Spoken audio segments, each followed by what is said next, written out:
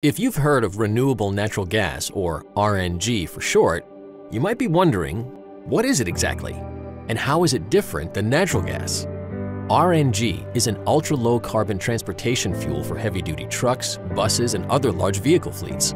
On a chemical level, it's exactly the same as natural gas. And that's great, because it means that RNG can drop right into the natural gas infrastructure that already exists across the country. What makes RNG different is its source. RNG is made entirely from organic waste.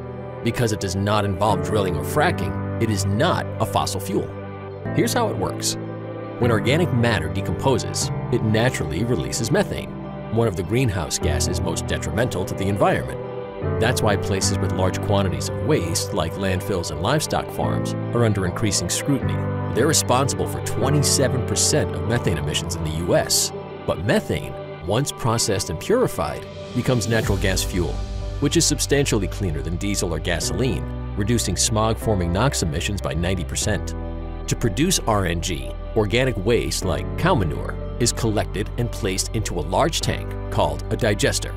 As the manure decomposes, the digester traps the resulting gas, preventing it from entering and damaging the atmosphere.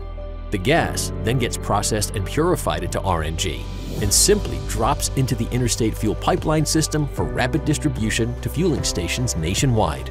What makes RNG such a powerful tool in the fight against climate change is that RNG reduces carbon emissions both at the source where it's made and on the road. Unlike other alternative fueling solutions, RNG can go beyond net zero emissions and achieve a negative carbon intensity rating.